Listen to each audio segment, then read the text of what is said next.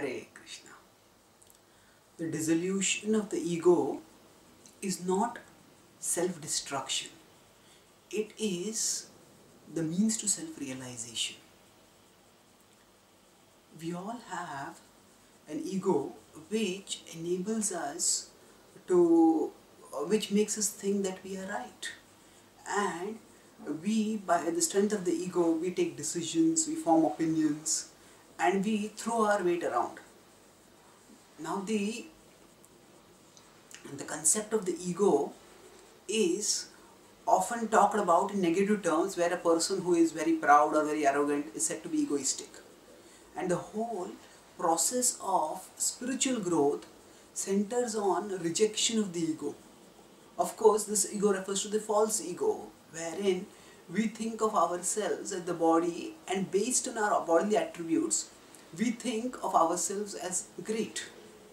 Now, the process of spiritual realization does not mean that we have to reject our ego per se.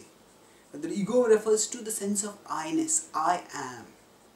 But who I am, regarding that we have a existential misconception. Whereas we are spiritual beings, we mistake ourselves to be material creatures. And because of that, we limit our horizons, we limit our desires, we limit our aspirations to the material level.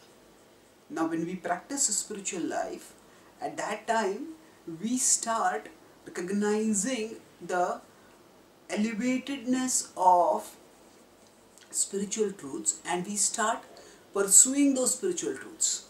And at that time, many of our conceptions of who I am and what will make me happy, these conceptions are challenged and these conceptions are falsified. At that time, especially when our conceptions come in conflict with the teaching of scripture, at that time we need to turn to scripture and learn from scripture. यदहङ्कारमाश्रित्य न योत्सेति मन्यसे मिथ्यैष व्यवसायस्ते प्रकृतिस्त्वां नियोक्ष्यति So Krishna talks about how if we, in 18.59 he states, if we take shelter of ahankar, yadahankaram ashritya, if we take shelter of the ego, nayotsya iti manyase, and if we think I will not fight, mithyaisha vyavasayaste, mithyaisha, our uh, vyavasaya, our determination will become deluded, our energy will become misdirected. Prakritistvam niyokshati, Krishna tells Arjuna that you will become a puppet in the hands of material nature and you will not move towards self-realization, you will move towards self-destruction. So our ego may sometimes give us a sense of security. Yes, I know who I am, I know what I am supposed to do, and I will do it. Uh, now that security is a shell that constricts us and we need to break it. Just as when a bird is born, at that time, mm, for the bird, the shell may uh, be a source of security. But if the bird is to grow up, if the bird is to have its real life, if the bird is to fly around and live like a bird, then the bird has to break the shell. And if the bird becomes afraid of breaking the shell, then the bird will stay forever trapped as a cage. It will never have a real life. Similarly, if we stay attached, especially if we stay attached to our own conceptions of what will make me happy, then we can't experience higher sources of happiness. Now we have all have our pet illusions. Some people think that drinking alcohol will make me happy. Others may think, oh, eating a lot of food will make me happy. Others think, oh, watching TV will make me happy. And these are all actually such trivial things. And as long as we stay attached to these things, we stay caught in petty conceptions and petty aspirations and we stay trapped in material existence.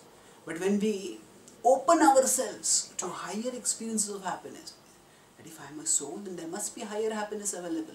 What is that happiness? I want to know about it. I want to pursue it.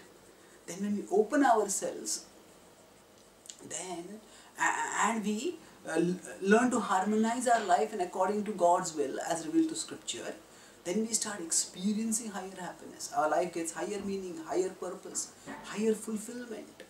So, to the extent uh, we have to now, when we reject our ego, that doesn't simply mean reject our opinions, but we primarily need to reject our conception of what will make us happy. And when we reject that conception and we turn towards the absolute truth and accept that by pursuing the absolute truth, I can become happy. By serving the absolute truth, I can become happy. And just open ourselves to that experience, then we will see that we will rise to higher levels of happiness. We will see that we will rise to greater uh, levels of fulfillment in our life.